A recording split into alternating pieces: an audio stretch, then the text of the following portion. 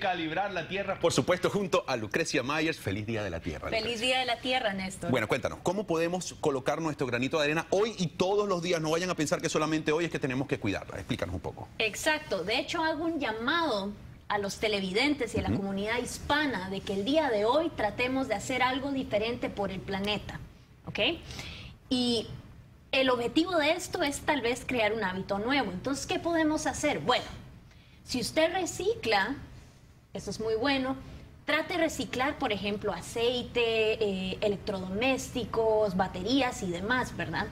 Eh, otra cosa que podemos hacer, que es fácil, es coloque una bolsa de manta o reutilizable, ya sea en su vehículo o donde usted trabaja o en su cartera para las mujeres, porque a veces olvidamos tener algo a la mano y ahí es cuando compramos la bolsa plástica, ¿no? exacto. Y eso, eh, yo creo que eso es un, un- por lo general, es, es un hábito que es como tú dices, hay que generar el nuevo hábito de colocar esa bolsa. Y me encanta que hayas tomado ese punto, Lucrecia, porque es tan importante cuántas bolsas nosotros eh, nuevas agarramos en cada mercado que hacemos y qué fácil es meter una bolsa de plástico de estas ecológicas ahí en nuestra cartera o en un sitio donde siempre llevemos para que no usemos tantas bolsas, ¿verdad? Claro, claro, y ese es el objetivo, ¿verdad? Que a veces uno está en la calle y no sabe qué hacer y ahí es donde uno compra la bolsa plástica.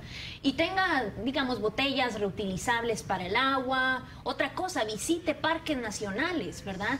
Y hago un llamado a los padres porque uno de padre es el que le enseña a los hijos Claro. sobre el medio ambiente. Lleve a sus hijos, lleve a su familia al parque, eh, parques nacionales, parques estatales y pueden ser voluntarios a la vez, ¿verdad? Sí. son cosas simples. Y de hecho, nosotros eh, eh, en el futuro bien cercano, Lucrecia, vamos a estar ayudándolos a ustedes para que se involucren en una nueva campaña que vamos a estar realizando muy pronto que tiene que ver con eh, su momento verde, con el momento que le acercó a usted a la naturaleza y es una sorpresa que estamos preparando, Lucrecia, con la cual estamos muy contentos y que más adelante ustedes en su propio idioma podrán ser partes de una campaña que va a traer bien, no para ustedes, va a traer bien para la casa de todos y también, eh, para cerrar, creo que tienes una información bien bonita de algo que va a ocurrir el día de hoy para las personas jóvenes, ¿verdad? Cuéntanos. Claro, justamente hoy tenemos una conferencia interactiva eh, sobre mujeres en ciencia, Oh, ¿verdad? nice. Hoy va a ser con científicas de la NASA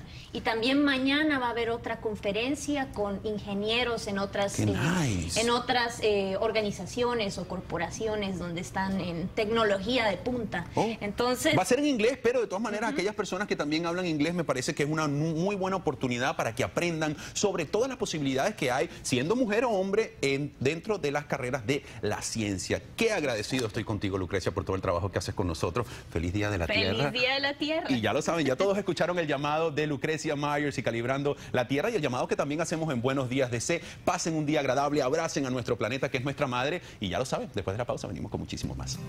Gracias Lucrecia por venir hoy.